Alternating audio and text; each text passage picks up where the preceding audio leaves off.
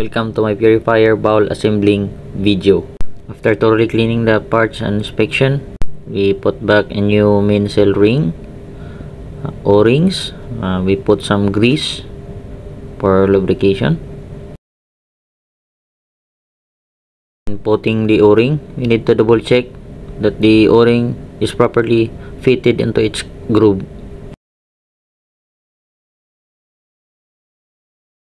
Some air blow to clean the o-ring grooves or the sliding bowl.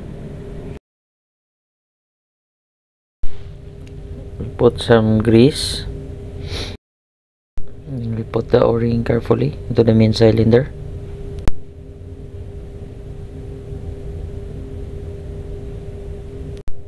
In the ball body there's also an o-ring in which the main cylinder is attached so we put some grease then fit it according to its groove. Fit the o-ring properly so that when putting the main cylinder it will not be very hard. Then we put some grease for lubrication on the main cylinder. And as you can notice there is a mark on the main cylinder. So it will be match up also with your special tools so that it will be very easy when putting it on your ball body. After tightening the special tool you're now ready to put back the main cylinder into the ball body. Okay be careful with the tally mark. The tally mark 0 the main cylinder mark will match up with the ball body mark. So it must be aligned perfectly as you can see in the video by slowly putting the main cylinder into the ball body base will touch the ball body. So you can now remove this special tool then try to turn it. If it is very hard now it is being properly fitted onto its tally mark where it is being aligned. The main cylinder is seated properly on the ball body. Next is the disc stack so after fitting all the disc it has a three upper disc so after cleaning it so you are now ready to put it back. So it has also a tally mark. So it must uh, be fitted properly according to the alignment of its tally mark as seen in the video it must be in place together with the zero mark on the bowl body.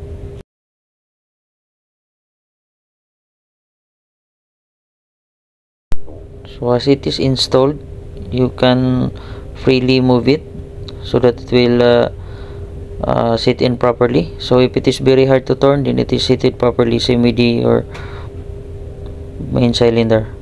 Or you just can see it on your tally mark if it is properly aligned. Next is to put the top disc so it has also a tally mark. Then you have the o-ring. You put the o-ring for your top disc so also you need to turn it if it is very hard so it is also properly seated on your disc.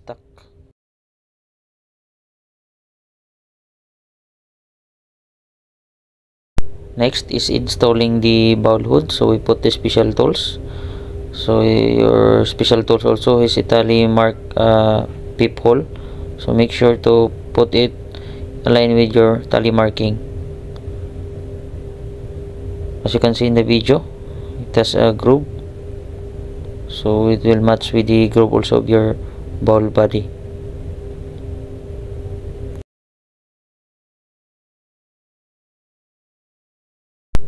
So after it is being successfully installed you can now remove the special tool and check the tally marking in the key guide so that uh, you can see that it is properly being seated.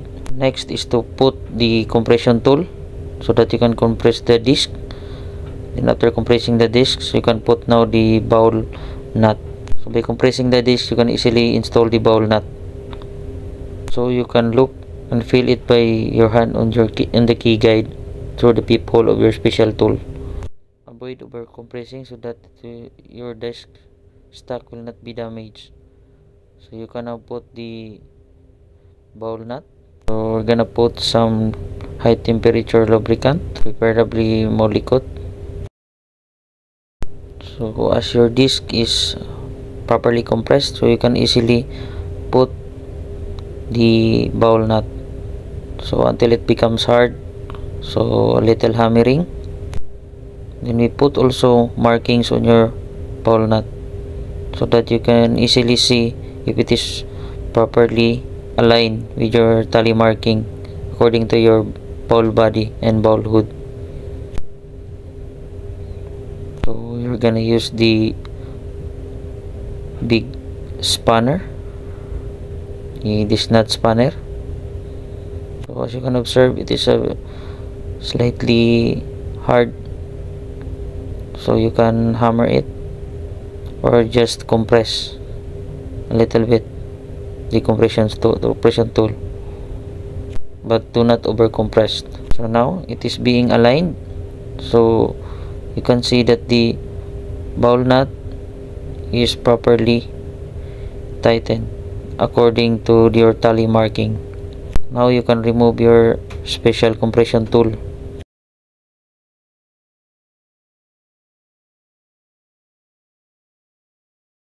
So next is the installing of your pilot bulb. You need to manually open and close it by your hand. So if it is very smooth then you can install it. So you put some lubrication a little bit of grease also air blow the casing. Also do some inspection if there's any blockage. Be careful for the proper position installing it. So you can only just push it by your hand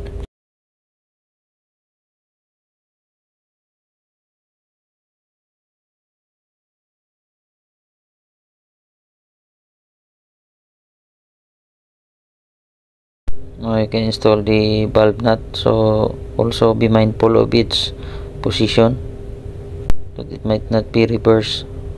Put some molykote and tighten.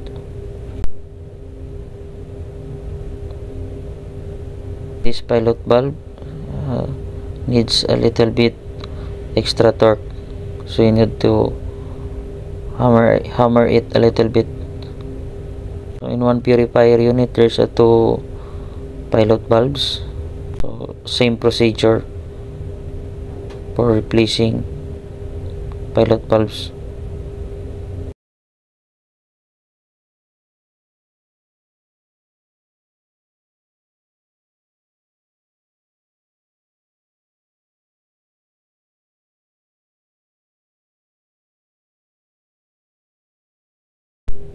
after that you can fit the special tools for lifting then we can inspect the base or the bottom of the ball body. So inspect the bottom clean and see for some damages or worn outs especially these uh, operating water ports check it if it is not blocked by some dirt or sludge. If it is blocked we need to clean it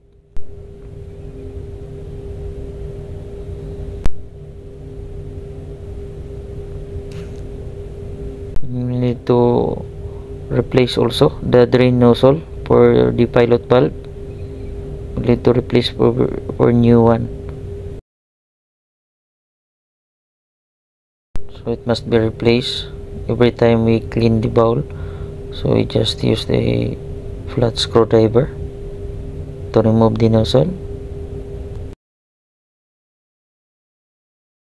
It is a little bit hard but uh, don't worry. It can, it can be removed.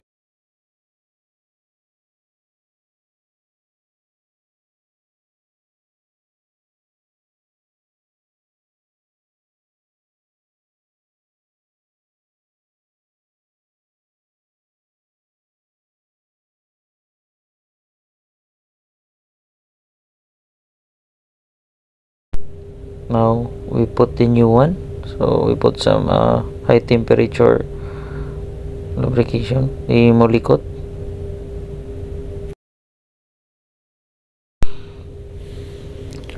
so after installing the drain nozzle for the pilot bulb we test the opening and closing of your main cylinder. So by applying a compressed air so you can see the up and down movement of your main cylinder. So it is a sign that your main cylinder is working. Your ball is opening and closing. Compare that one. It is uh, good to go. Uh, some explanations.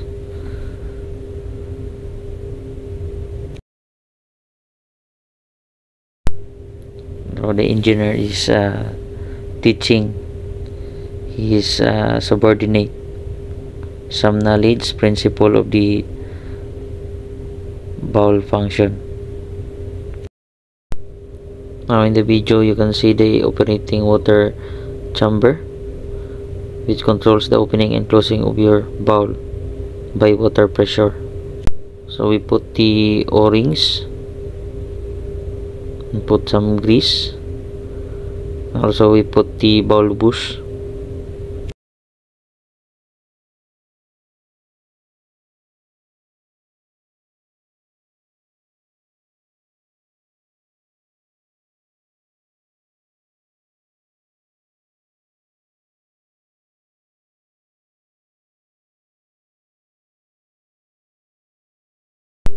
thoroughly putting the o-ring and put some lubrication now we're ready to install the bowl assembly.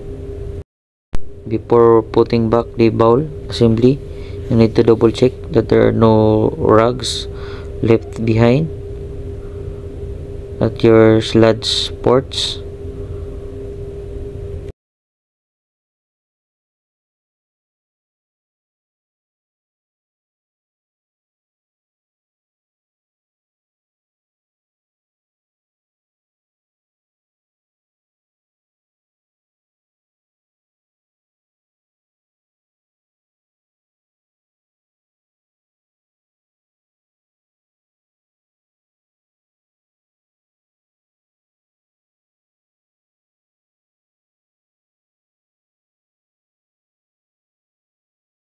can now slowly uh,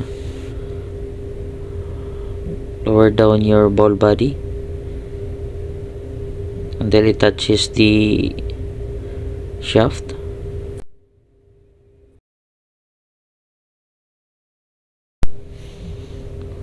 Can now remove the lifting tool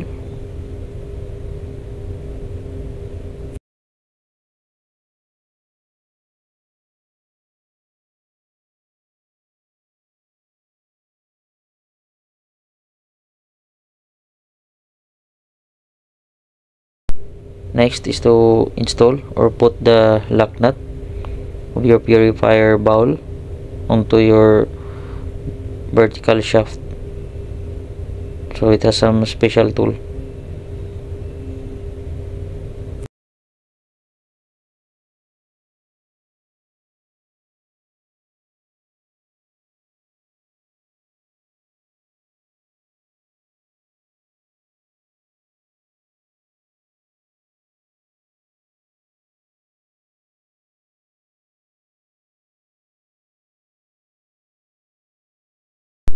after fitting the lock nut need to inspect it.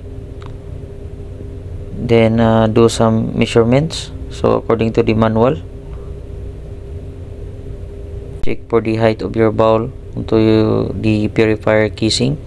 So it has a standard uh, measurement according to the manual.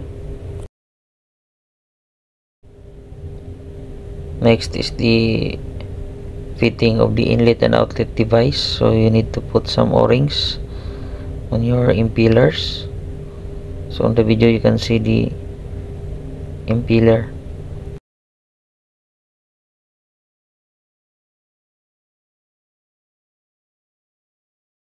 after putting all the o-rings you can put the inlet pipe. You can put the impeller next is the light liquid chamber. Then uh, tighten it by using the special tools the spanner.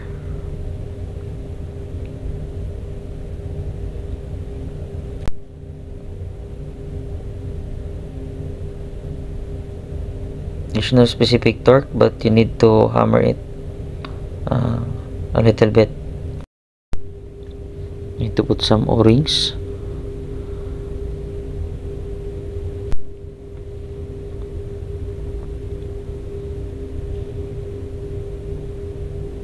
And we put the gravity disc.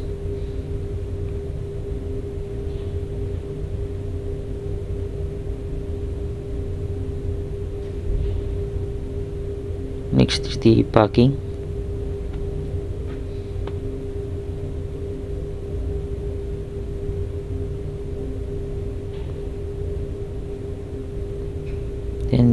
impeller?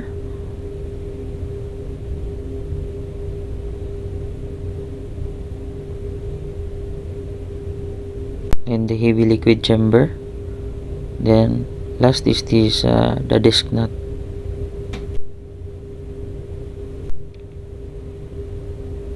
So by tightening the disc nut we use the also the special tools the spanner there's no specific torque also but you need to tighten it a little bit by hammering.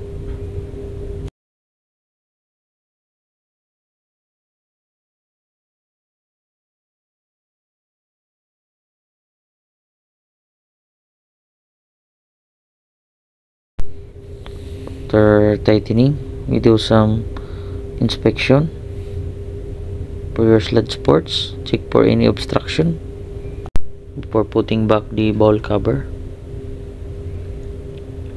Install the o-ring. New o-ring.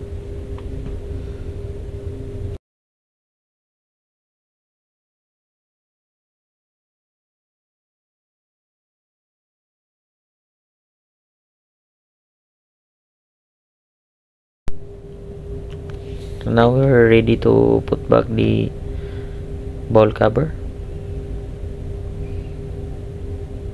So when putting it uh, you need to slightly lower so that this uh, o-ring will not get damaged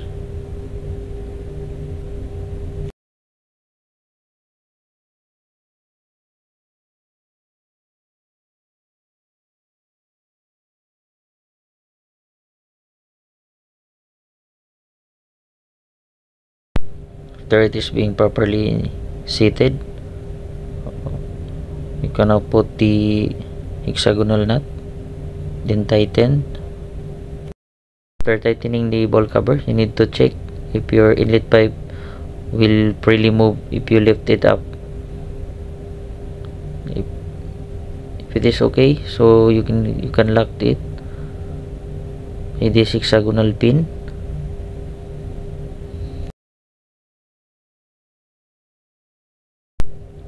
then fit the lock nut for your inlet pipe. So it has a marking based on the height according to the manual.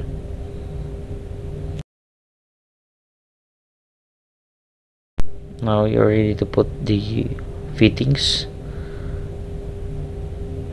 Your inlet and outlet the water fittings.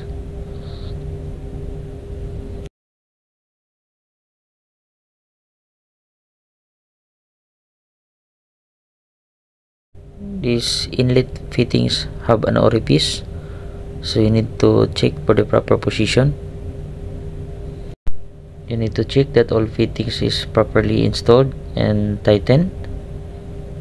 Make sure that everything is not left behind thanks for watching my video uh, just like and subscribe my youtube channel thanks for this uh, energetic engineer Mr. John Renzo Pingad and his assistant Mr. JB Villanueva